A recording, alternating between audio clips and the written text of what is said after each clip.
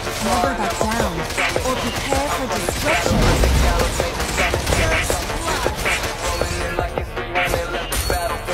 Swift, silent, and precise.